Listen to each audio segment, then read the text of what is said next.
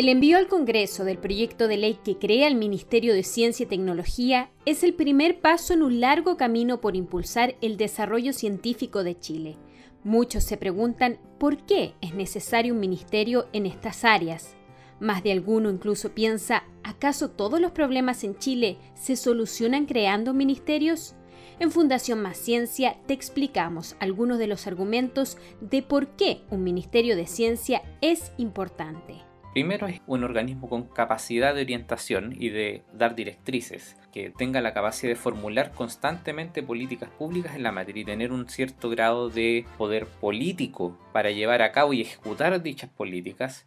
Es decir, no se trata de tener solamente una agencia que administre y ejecute, por ejemplo, fondos y becas, sino que además defina cuáles son las iniciativas necesarias para impulsar el desarrollo científico del país. Pensamos que se requiere tener una ministra o un ministro de ciencia que sea la persona que lidere a toda la comunidad de investigadoras e investigadores en Chile que quieren que la ciencia sea protagonista para el desarrollo del país. El Ministerio de Ciencia además debe ser capaz de coordinarse con otras instituciones y programas de gobierno que tienen alguna relación con la ciencia, la tecnología y la innovación y que además tenga un alto nivel político, es decir, que tenga la capacidad de relacionarse de manera rápida, ágil y eficiente con otros ministerios y con otras autoridades. Cuando hablamos de un ministerio estamos hablando de un agente político, no solamente una agencia. La relevancia del ministerio es una relevancia política.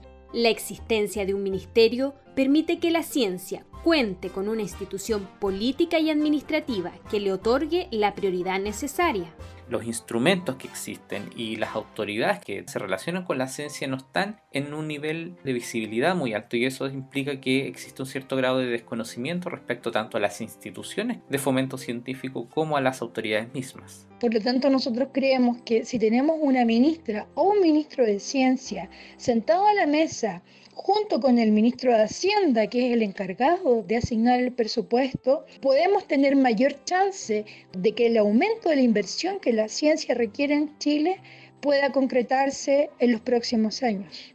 Entonces, las razones que explican la necesidad de un Ministerio de Ciencia y Tecnología en Chile son múltiples. Recapitulemos.